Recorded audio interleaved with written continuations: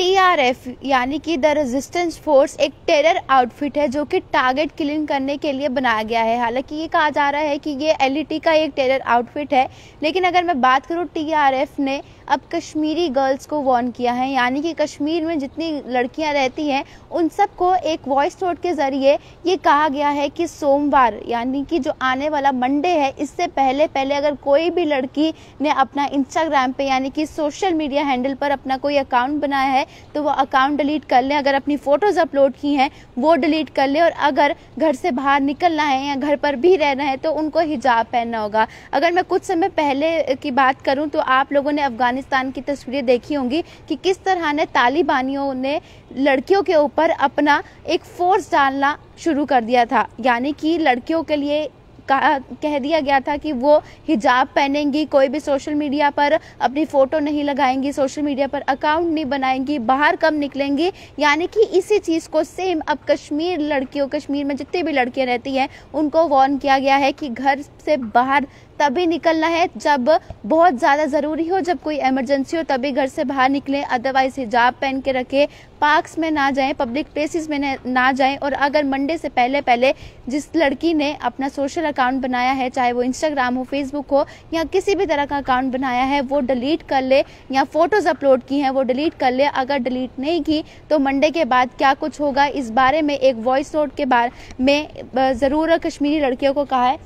इससे पहले जब अफ़गानिस्तान में ये सब कुछ हुआ था तो हर किसी ने इस चीज़ का कड़ा विरोध किया था कि किस तरह लड़कियों की ज़िंदगी छीनी जा सकती है, लड़कियों को घर से बाहर निकलने के लिए रोका रोका जाएगा, लड़कियों को कुछ पहनने के लिए रोका जाएगा, उनको पूरी तरह से ढके रहना चाहिए, हिजाब पहनना है। इस चीज़ को लेकर अब टीआरएफ ने कश्मीरी लड़कियों को ये वार्निंग देते हुए कहा है कि अगर लड़कियों ने मंडे से पहले ऐसा किया, नहीं किया तो उनके साथ कुछ सही नहीं होगा। तो टी आर की ओर से जो रेजिस्टेंस फोर्स है, जो कि टेरर आउटफिट है तो उनकी ओर से कश्मीरी लड़कियों को वार्न किया गया है। जब पहले ऐसा कुछ हुआ था, अफ़गानिस्तान में हर चीज़ हर किसी ने इस चीज़ का काफ़ी ज़्यादा कड़ा विरोध किया था। हर व्यक्ति इस चीज़ के खिलाफ उठा था। लेकिन अब टीआरएफ ने जब कश्मीर में ये लड़कियों को वार्निंग दी है तो क्या कुछ लोग इस चीज़ को करेंगे? किस तरह से इसका कड़ा विरोध करेंगे?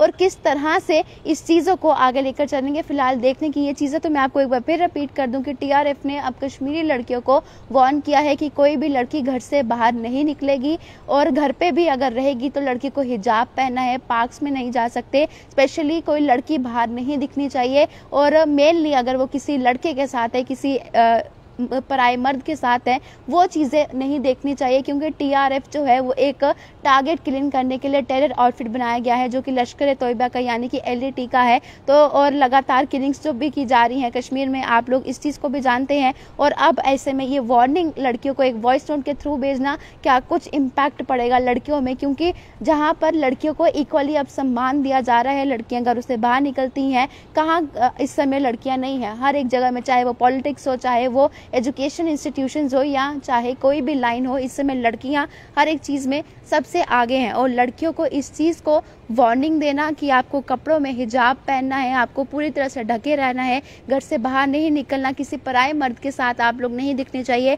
आपकी फ़ोटो अगर इंस्टाग्राम हैंडल पर या किसी भी सोशल मीडिया हैंडल पर आपकी फ़ोटो देखी गई तो आने वाले दिनों में उन लड़कियों के लिए अच्छा नहीं होगा। ये कुछ जो है वो एक रिकॉर्डिंग में कहा गया है। अब इस चीज़ को लेकर लोग किस तरह से रिएक्ट करते हैं, किस तरह से सरकार इस चीज़ को लेती है और क्या फैसला इस चीज़ पर लिया जा सकता है, ये तो अब कुछ समय में पता चल ही जाएगा। लेकिन फ़िलहाल टीआरएफ की ओर से लड़कियों को ये वार्न किया गया है, जो कि स्पेशली कश्मीर में रहती हैं। ये वार्निंग यानी कि तालिबानी स्टाइल में ये वार्निंग लड़की को दे दी है कि अगर ऐसा कुछ हुआ, उनके खिलाफ ये कुछ किया गया लड़कियों की ओर से तो वो सही नहीं होगा।